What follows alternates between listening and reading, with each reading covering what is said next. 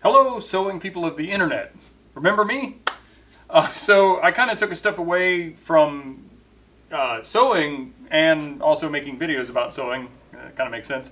Uh, for a couple of months. Um, and this video is kind of about um, what distracted me from sewing and what got me back into sewing. Uh, I'm going to be talking about this particular project. This is not a tutorial uh, on how I made this. I don't know how many people out there want to make uh, exactly this pack for exactly this purpose, but this is more of a why-to or a so and tell, um, and more of a discussion about how sometimes it's good to step away from something you're passionate about, and more importantly for me, I think, uh, is sometimes it's okay to compromise in the interest of getting something done and just doing stuff.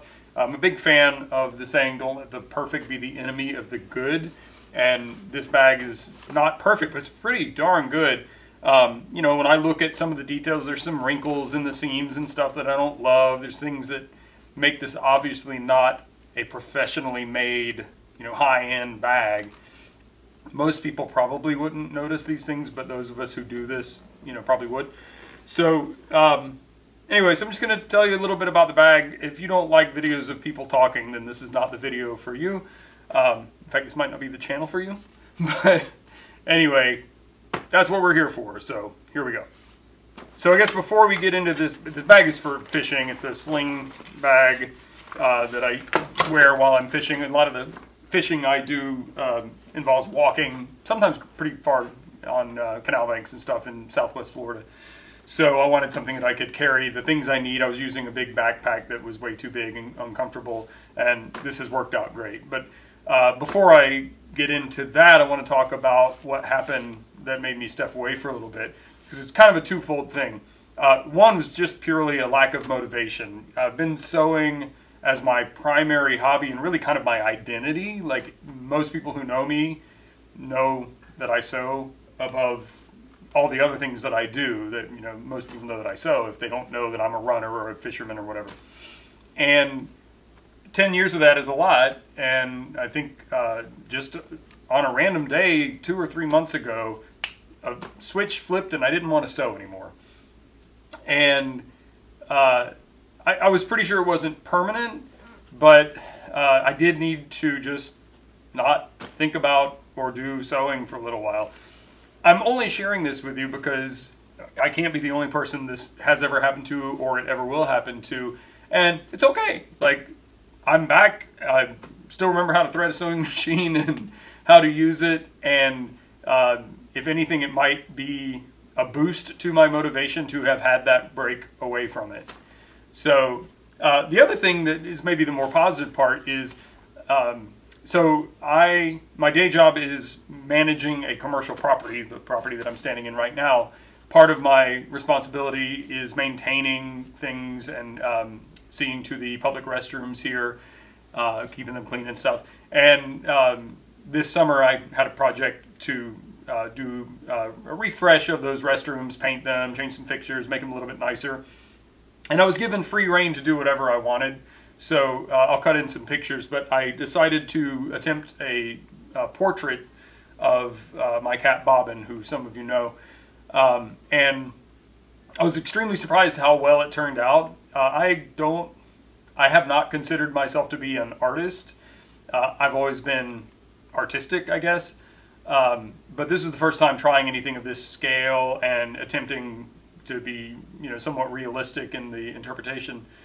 And it turned out so great, and I'm so happy with it that it actually spurred a motivation to experiment with more and more art. So I've been doing a lot of drawing and painting recently.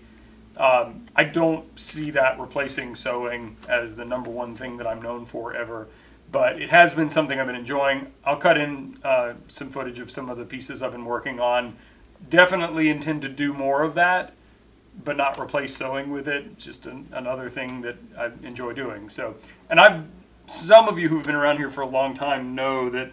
Uh, where's my bag? Some of you who have been around for a while know that I have used pieces of art that I made. Like this is a, a print from a Dutch pour. Uh, you can just Google that if you don't know what it is.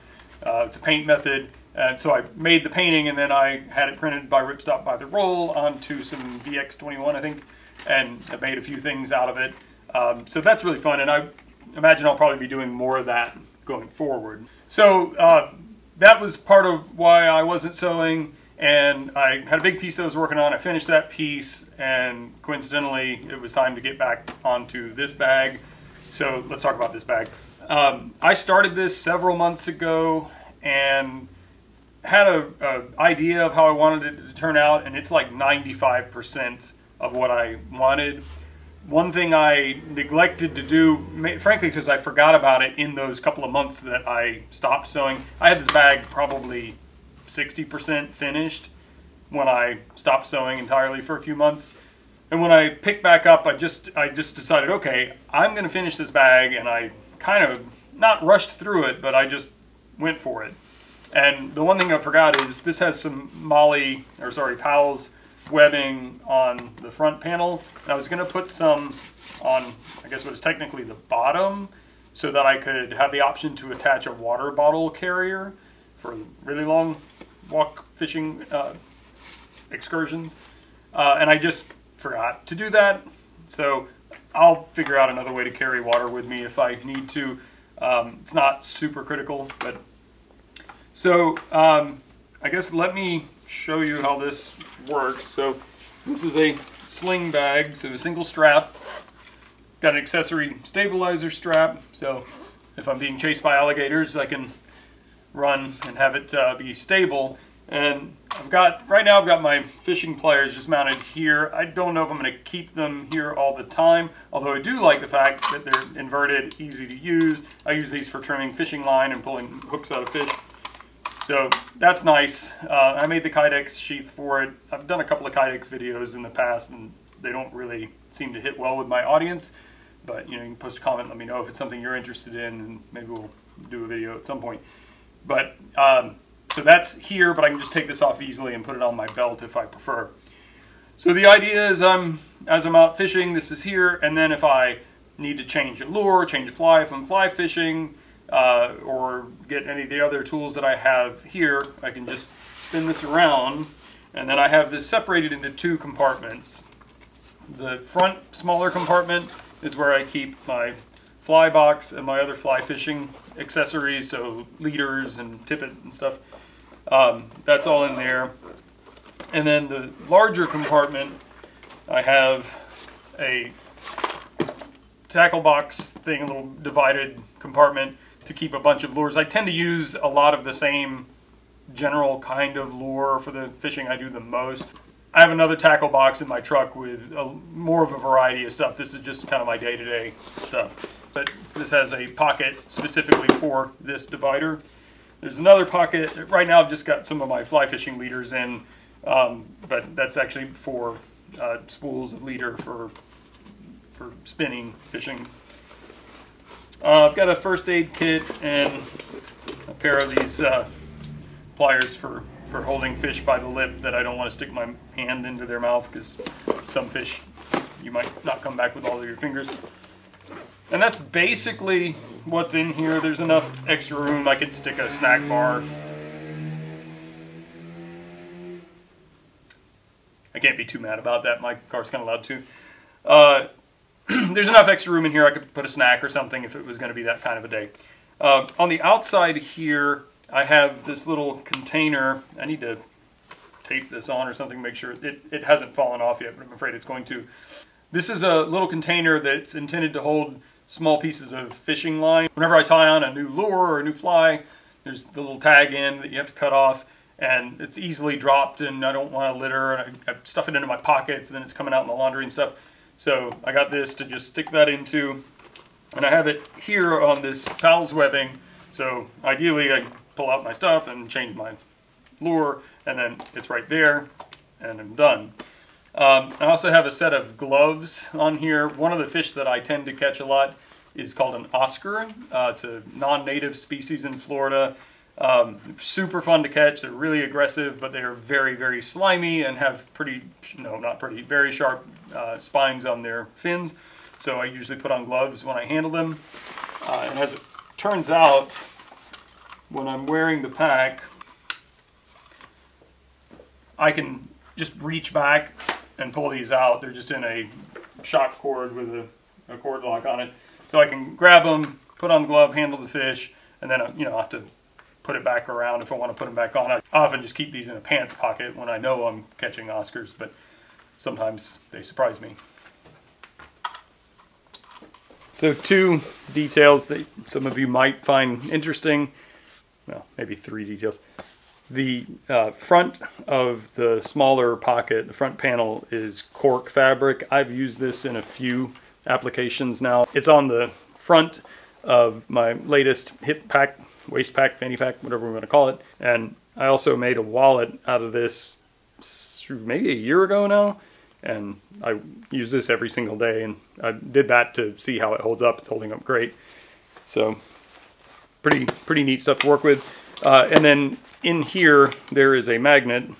And that is there so that I can take out the fly that I want to use next or, or if I have to change a, a hook on a spinning rod. And I have a place to put it, you know, especially with the fly, the, the knot I use to tie the fly, uh, I have to kind of tie part of the knot and then run it through and then finish tying it. So it's nice to have a place I can just put it and not have to worry about dropping it. So, uh, and then the other fun part about this pack is I sewed uh, the outline of a peacock bass, another one of my favorite fish to catch here, uh, into the mesh on the, this is a spacer mesh or 3D mesh on the back panel. So I use the same mesh on the shoulder strap. The strap on the pack is basically just a backpack strap. It's got 1 8 inch EVA foam in the center, spacer mesh on the back, the fabric that the rest of the pack is made out of on the front, mil-spec 17337 webbing, and it's bound with mil-spec 4088 binding. Um, speaking of the main fabric, uh, I'll try to put something in text here. I don't remember off the top of my head. I bought this on clearance from Rockywoods, um, and it's a fabric I had not worked with before. It's kind of similar to, say, like 500D Cordura, but um, like I said, it was on clearance. I don't even know if they sell it anymore. You could make something like this out of 1000D Cordura, 500D Cordura, 400D pack cloth maybe. Um, any number of different uh, fabrics would be fine. This just, I happened to buy it because it was on clearance and it was cheap. So uh, zippers are number eight YKK continuous coil zippers. And I don't think there's anything else terribly interesting to say about this pack other than uh, I'm really glad that I finally got inspired to finish it. So I took it out to my favorite fishing area this past weekend and used it. It's awesome. I'm going to just throw some footage of that fishing trip at the end of this video. So if you hate fishing, bye. Uh, and if you want to see, you know, why I made a pack like this, then enjoy some footage of me fishing in the swamp and uh, maybe uh, having to argue with an alligator. So anyway, thanks for watching. If any of this outdoor stuff interests you, make sure you check the link in the description for my second channel, The Jason Wins.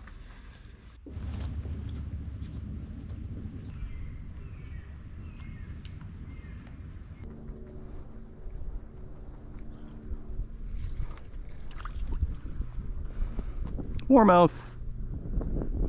Hey, buddy.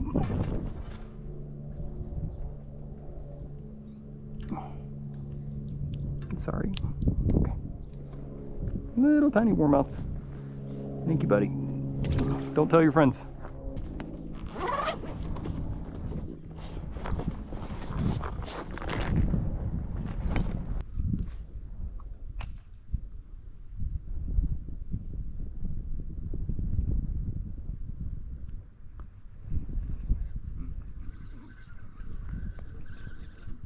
Okay, that has got some fight to it. It feels like an Oscar. Yep. All right, buddy, you're lucky you're pretty small.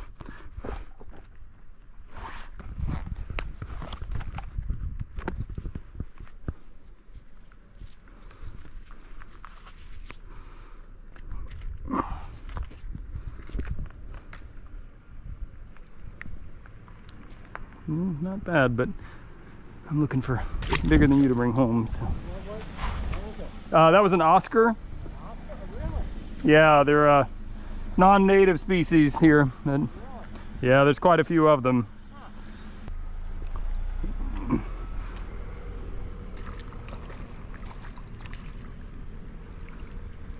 That's a warmouth. You are a nice little warmouth too, buddy. Have I caught you before? Sorry. Okay. Yeah, that's a chunky little warmouth.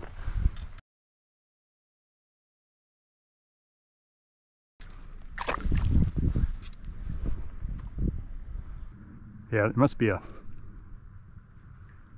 a spot they like back there because I've caught a lot of them back there. Are you okay? Did I? No. Okay. Thought I side hooked him or something.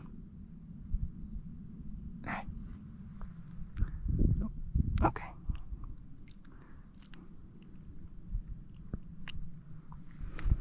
Little guy. Oh, let me toss you that way. As you are being bad. I knew I was gonna get a couple that size. I would probably keep you. Oh, hi buddy. How are you? Whoa, they're easy now.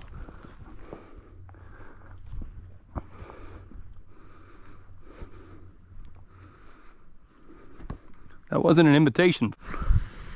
Oh, okay. All right. Well, I guess I'll better back away because I was a little aggressive. All right. Well, I guess we're not going to try for any more Oscars there.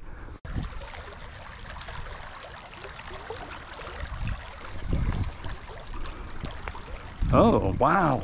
That is a nice sunfish. Holy cow. That's the biggest sunfish I've ever caught. By a lot.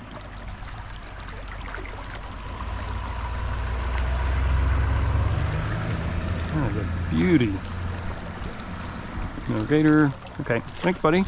Wow, I thought those some Oscars over there. Maybe it's sunfish. Terrible cast. Doesn't seem to matter, but man. Oh, that's an Oscar. Okay. Thought it was a sunfish again for a second. Like, Holy cow. What are they feeding these things around here? A little one. Okay, I think I found the Oscars.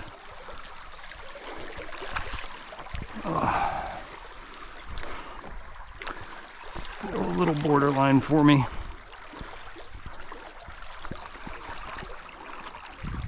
I was thinking about bringing some home, but I really want a couple of really big ones. Okay.